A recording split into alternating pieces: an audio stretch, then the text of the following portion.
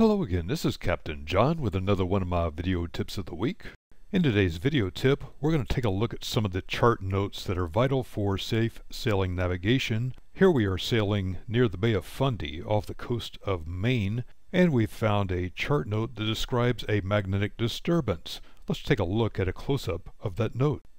Differences of as much as 5.5 degrees from the normal variation have been observed off the east coast of Campobello Island.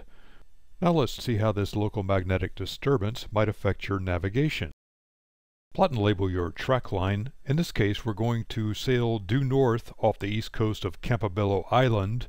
The closest compass rose tells us that variation is 17 degrees west, so our base sailing course line will be 017 degrees magnetic.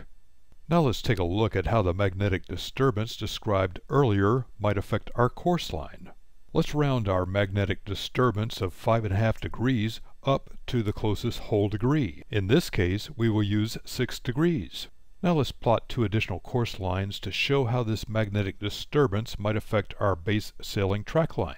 On the left side, we would subtract 6 degrees from our base magnetic course line of 017 and plot an additional course line in the direction of 011 degrees magnetic. Next, we would add 6 degrees to our base course line of 017 and plot an additional course line of 023 degrees magnetic on the right side of our base sailing track line.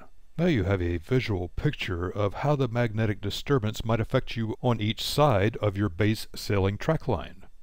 Adjust the sailing course line as necessary to avoid any dangers or obstructions in your path. Now you know an easy sailing navigation technique you can use for safer sailing anywhere in the world. This is Captain John, and this has been another one of my video tips of the week. Find more sailing tips and techniques on www.skippertips.com.